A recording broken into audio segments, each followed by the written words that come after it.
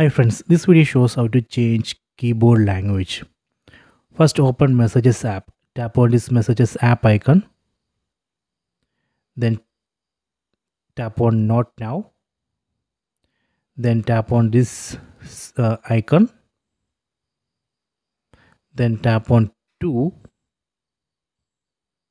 Here we can see keyboard. Then tap on this keyboard settings icon. Then tap on languages and type. Then tap on manage input languages. So from this list we can select the languages which we need. Let me select Hindi. So right now only English has been enabled. Now I enabled Hindi. Let me select one more.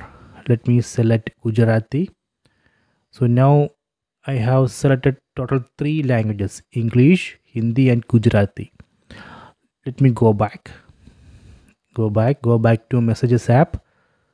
Okay now in this keyboard if you want to change the language we can tap on this language button.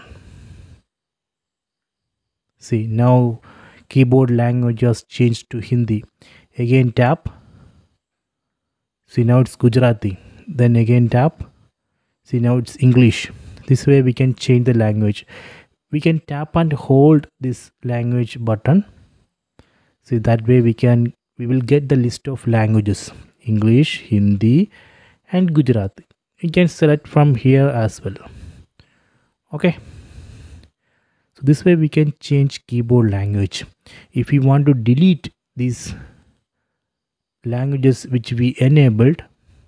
Again go to keyboard settings then go to languages and types then go to manage la input languages then we can disable here. Then go back to key messages app.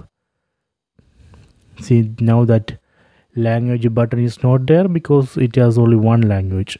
So this way we can change keyboard language. I hope you have enjoyed this video. Please subscribe my channel. Please like and share the video